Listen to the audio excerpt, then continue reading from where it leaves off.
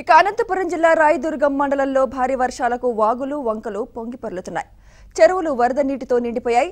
గ్రామ సమీపంలోని చెరువులో కుంటలు నిండటంతో వడ్రేవన్నూరు ఉడేగోళం తదితర గ్రామాలతో పాటు రాయదుర్గంలోని లోతట్టు ప్రాంతాలు జలమయమయ్యాయి. ఇళ్ళల్లోకి వరద నీరు చేరడంతో ప్రజలకు కంటి మీద కునుకు లేకుండా పోయింది. రాయదుర్గం మండలం వడ్రేవన్నూరు గ్రామం వద్ద పారిన వంకలో ఆటో కొట్టుకుపోయింది. గ్రామంలోని గృహాలు నీట మునిగాయి. చెరువు నిండిపోయి వరద నీరు గృహాల్లోకి చేరుకున్నాయి.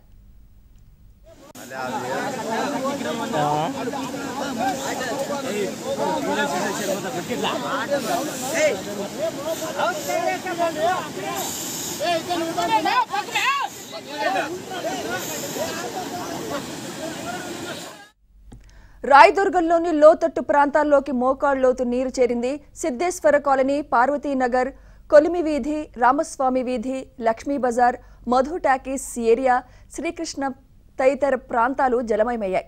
రోడ్లపై వరద నీరు పారుతోంది.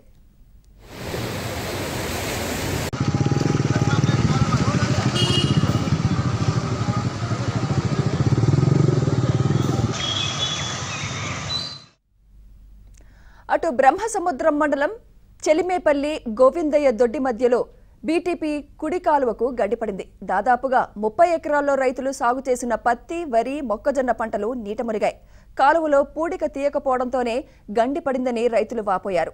అధికారుల నిర్లక్ష్యం వల్లే ఇదంతా జరిగిందని రైతులు చెప్తున్నారు.